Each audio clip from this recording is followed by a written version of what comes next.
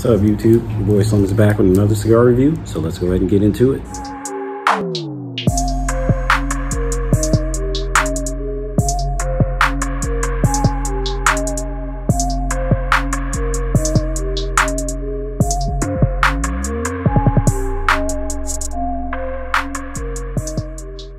Alright, today I'm going to be smoking on the Plasencia Alma del Fuego. Hope I pronounced that right because uh, if I don't, I'm pretty sure uh, my wife will correct me since she is fluent in Spanish.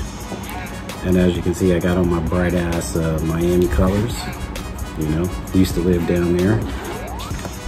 But um, today we are going to be smoking on a Puro. And this is the Plasencia Alma del Fuego. I probably gave that to you twice, but it's fine. Nice triple cap on there. Nice looking bands. And as far as like the other Plasencia I smoked, it doesn't have all those bands covering up everything, but it has a nice foot band. I'll go ahead and take that off. As you can see, it's a dark wrapper. Nice veins running through there. You know, firmly packed, firmly packed. Almost like a closed foot. Not sure I'll get a coffee or espresso note. Pepper tea. All right, so the Plasencia Armadillo Fuego, Spanish for soul of fire, captures the passion and strength of Nicaraguan tobacco, a Nicaraguan puro, like I was saying. The binder and filler is composed primarily of tobacco that is grown on the island of Ometepe. Hope I'm pronouncing that right. Which was formed by two volcanoes. Volcanic soil with the right climate combination is ideal for growing tobacco. The island of Ometepe sits in the middle of Lake Nicaragua, known for its strength. All right, so like I was saying, the country is Nicaraguan, the wrappers uh, Nicaraguan, the binder's Nicaraguan, the filler's Nicaraguan, and from Plasencia Cigars. But before I get into this, you know what? I just want to give a uh, shout out to a lot of people in the cigar community that I've been talking to. They've been giving me like some advice and stuff like that.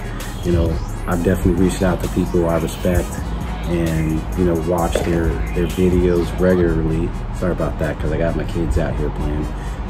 But um, they've given me like some advice on, on things. I respect their opinion. You know what I'm saying? And because uh, at first when I started this YouTube channel, I didn't know what to expect.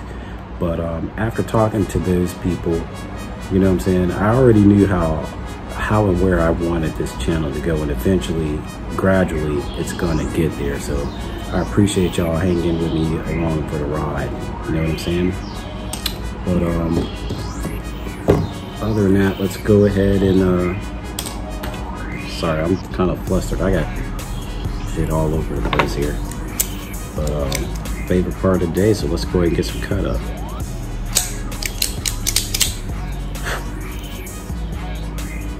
Wow, that's a tight draw.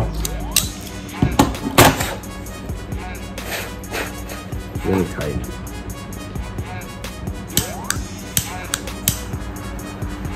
Let's go and light this out, man.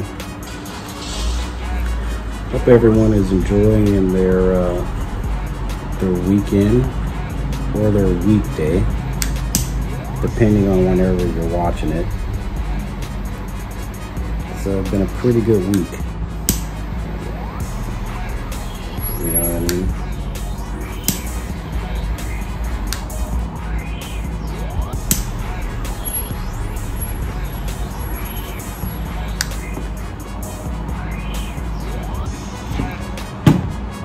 Good light up.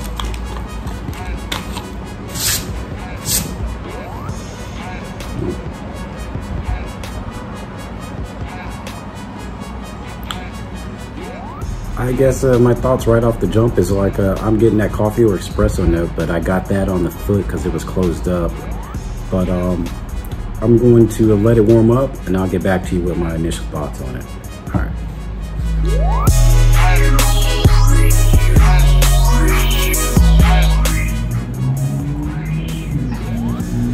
Right, YouTube, I am back and uh, I guess my initial thoughts right off the jump are that um, I don't pick up any spice right now. It's a, I definitely feel that pepper on there and I'm getting like a, um, it's really creamy, but um, other than that, there's like a, a sweet note in there. I don't know if it's like chocolate or something, but um, there's a sweet note in there and uh, it's really creamy and smooth actually. And uh, from what I have heard about it, I thought it would be a lot spicier, but I mean, eventually it may get there, but we'll find out. Um, and actually, this is, uh, let me make sure I got this one for you. This is the 6x54 Conception, Concepcion, and it cost about anywhere from 14 to $16, and I got it from, you know, my man Sal. So depending you may be able to get it on Cigar Bid now, you maybe not. You may be able to order it from some other B&Ms online and get it for a more decent price. But I mean, other than that, I'm gonna keep on smoking it down.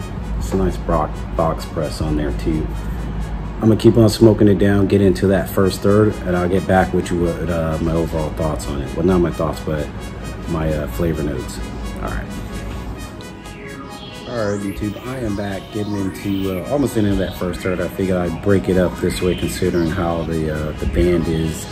But I mean, overall the burn line isn't razor sharp, but uh, it's a little wavy, but um, I don't think it's messing with the flavor notes or anything like that. And um, as far as the, the flavor notes that I'm getting, that, um, that coffee or chocolate note, I think that's still there. That's making it sweet and creamy. The strength hasn't picked up, you know, pretty much at all. It's still on point from, uh, or on par where it was when I first lit it up. But I'm getting uh, maybe like a slight citrus notes and a little bit of nuttiness in there. But I mean, um, I mean, honestly, I am I am uh, impressed by this uh, cigar right now. Just starting off right from the, the beginning.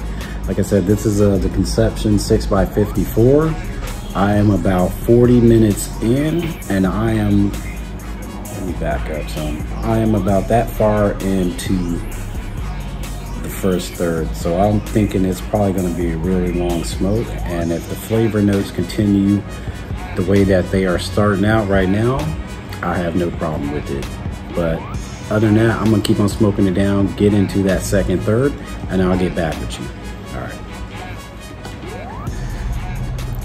All right, I am back. And uh, getting to the end of that second third, close to the band, um, my uh, thoughts are that um, pretty much like the first third, still creamy and smooth. That, uh, sorry, this damn Raven is kind of throwing me off. But um, it's still creamy and smooth. That, um, that sweetness. It's either like a chocolate or a cocoa note in there. You know, I don't think it's coffee, but I mean the pepper, it's uh, it's starting to pick up slightly, but I still think it's in that medium range where it's not too overwhelming. And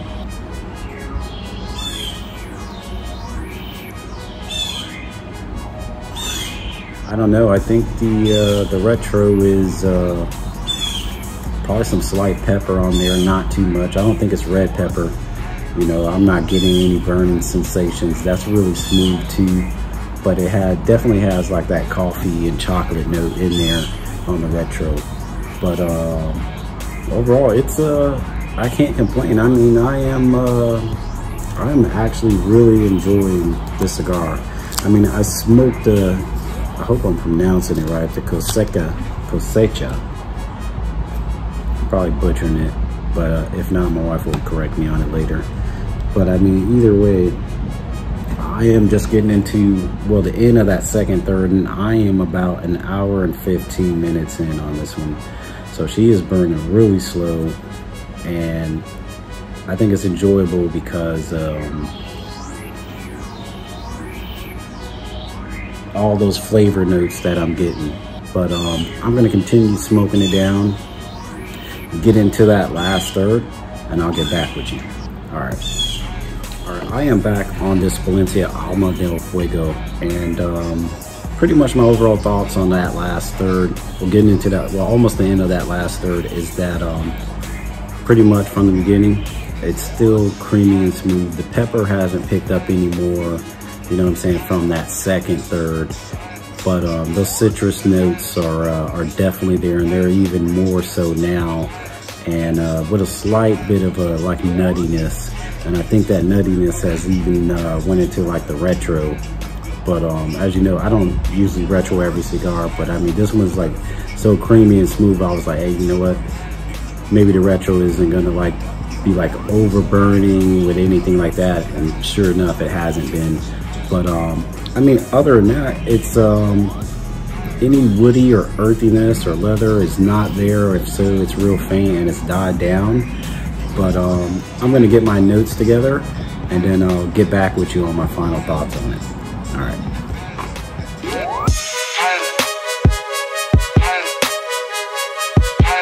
All right, YouTube, I am back with my uh, final thoughts. And I think overall, as far as the strength, from the first third to the second third to the last third. It was a medium cigar. The spice, you know what I'm saying? It was like medium body, you know, overall all the way through. The spice only picked up in the second third probably a little bit, but it was real faint. You know what I'm saying? And the finish, you know, no issues with that whatsoever. Um, as far as the flavor notes, I feel that this is a really complex cigar. I was getting a lot out of there. Some of it I didn't know, some of it I kind of figured I was. I think uh, a lot of the cigars I've been smoking lately have been on that creamy and smooth thing. But um, overall, you get those notes of like cedar, espresso, or coffee, you know what I'm saying, within the first. And then what, within to the second, you know, you're getting that still that chocolate sweetness or whatever in there. Um, but I mean, that increased or just stayed there all the way into the last third. You know what I'm saying? That was a that was really good. So, but there was a lot more going on in there. You know what I'm saying? And I couldn't really put my finger on it, but um, it was really good. Um, as far as the construction, the draw started off tight. Once it started burning, you know what I mean? The uh, there was no issue with it. You know what I'm saying? I didn't have to touch it up. The ash wasn't flaky at all. I actually had to knock it off when it was dropping them in dimes. You know what I'm saying? That was pretty good. Um, as far as the finish, the finish was probably like a medium to a light. It didn't really linger as much. Well, and this is probably the first cigar I would probably say that, you know what, I wished it would have, you know, had a longer finish just to taste those notes in there a little bit longer. But I mean, as far as the price, like I was saying, I think I told you about like anywhere from 13 to $15, depending on your B&M or online. And that's gonna run you about two hours for that cigar, depending how you smoked. I think I was probably taking my time with it or not taking my time, just saying, hey, you know what, I'm enjoying it. So depending how you smoke, it could last longer or even shorter. But I figure if you're gonna pay like $15 and uh, that would be the cigar I would pay $15 for. I don't think it's a good cigar. I think it's on the line of being like a great cigar, at least for me. You know what I mean? I've smoked a couple, you know, other Plasencia ones, but um, I would have to say that was probably the best one that I've smoked as of right now. You know what I mean? I've I smoked a couple of them, but that's probably the best one that I've had. But I mean, other than that, you know what I'm saying? It's gonna be a good uh, weekend not too much rain or whatever in the forecast. So I'm gonna get out here, enjoy the rest of the day with my family. You know, hope you guys are doing the same.